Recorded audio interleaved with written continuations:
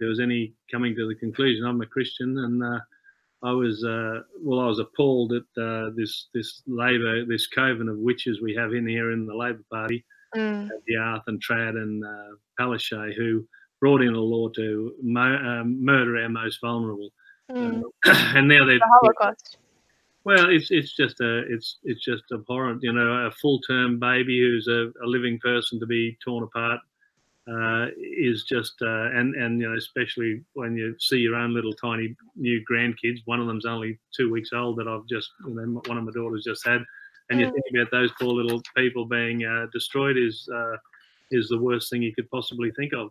And um, uh, and now they're talking about doing it to the other end of the scale. You know, the the elderly. Let's let's uh, murder them as well.